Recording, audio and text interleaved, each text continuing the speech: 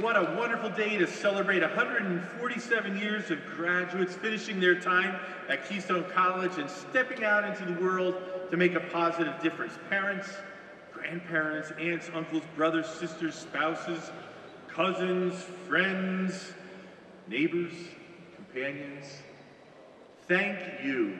Thank you for joining your hands and your hearts in support of these graduates at Keystone College.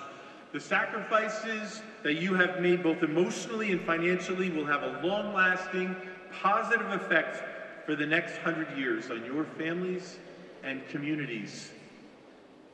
In particular, parents, when you encourage your sons and daughters to come to Keystone, you gave them a chance at a life now full of possibilities as they join more than 17,000 alumni 17,000 alumni were found in every walk of life in this community, this region, and in the world.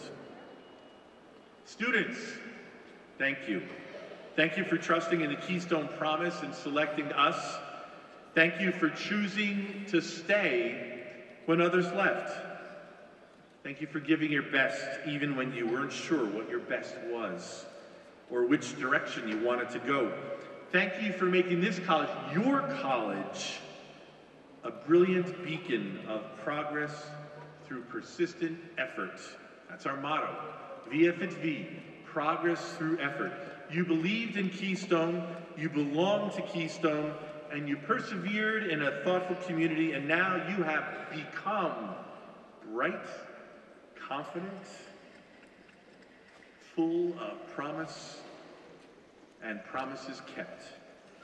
And along the journey, I know you've made friends for life and learned with top-notch professors and teachers.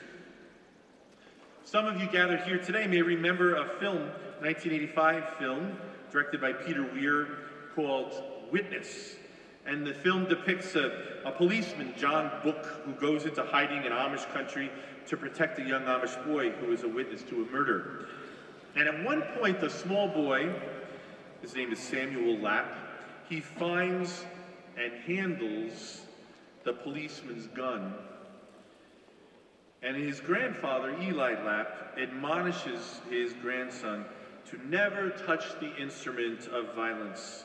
And with strong resolve, he says, What you take into your hands, you take into your heart.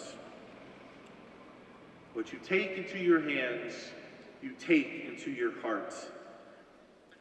A similar connection between hands and heart was made in 1610, believe it or not, in Shakespeare's play The Tempest, when at one point in the play, the character Ferdinand reaches out and says, Here's my hand.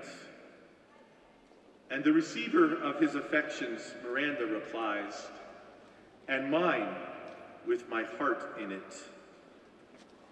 This tender scene is reminiscent of Shakespeare's earlier plays, such as Romeo and Juliet, and was refashioned in the 1957 Broadway production, West Side Story, in the beautiful Bernstein Sondheim song, One Hand, One Heart. And then about a dozen years after that, West Side Story play in 1970, the, the Motown singer Diana Ross, formerly of the Supremes, included in her concerts an Ashford and Simpson song called Reach Out and Touch Somebody's Hand.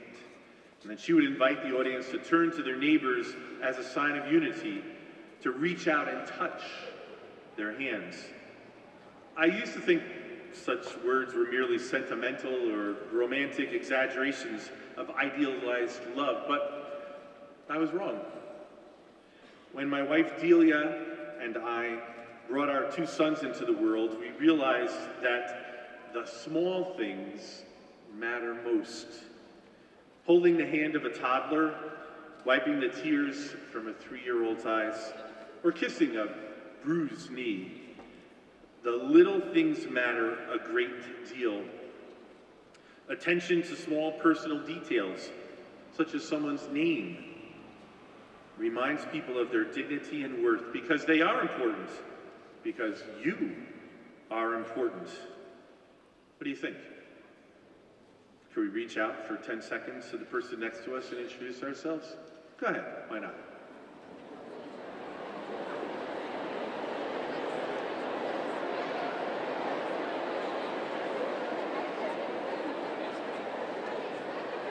That was easy, right? That was easy. That's all it takes. Takes 10 seconds. That's it. Now you're all smiling. You should see what it looks like up here. You're all smiling. Before you're all like freezing.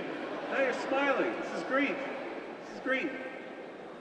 You see, at Keystone College, we're part of a tradition that invites us to reach across boundaries and grow a democracy that's comprised of an ethical citizenry.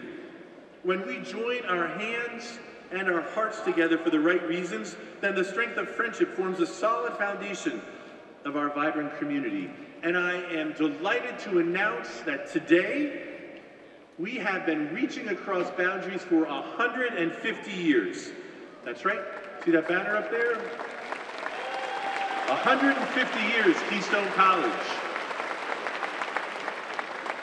And for the next year, we'll be celebrating that. So, grads, make sure you come back. There's going to be at least five parties that I know of, all right? So, we want you to come to them, celebrate with us, celebrate your college's 150th anniversary of believing in students, of creating a place for students to belong, and the place in the community where students become their best selves.